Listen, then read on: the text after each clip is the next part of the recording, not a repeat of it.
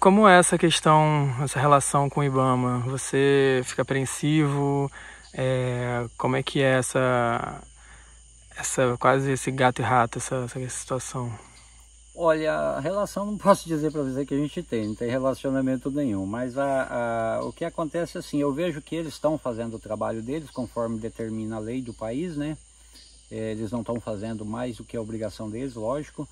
Agora, eu vejo assim, eu sou um pai de família, e eu tenho uma família a sustentar e tenho um sonho de formar meus filhos e encaminhar eles para a vida, né?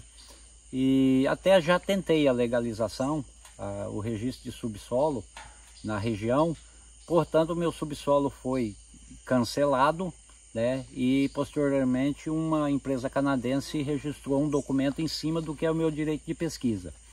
Então eu acredito que o que prevalece no país são privilégios, não direitos certo? Porque eu como brasileiro, cidadão de Novo Progresso, eu não tive direito a dar continuidade nos meus documentos, no meu trabalho.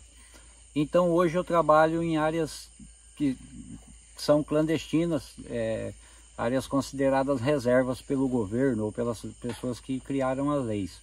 Mas eu vejo assim, eu, eu tenho a, a minha luta diária, do dia a dia para a sobrevivência e, e, e, e conseguir manter a minha família certo?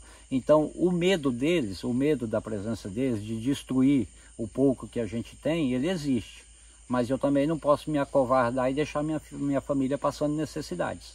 Então, eu vou lutar até o último minuto.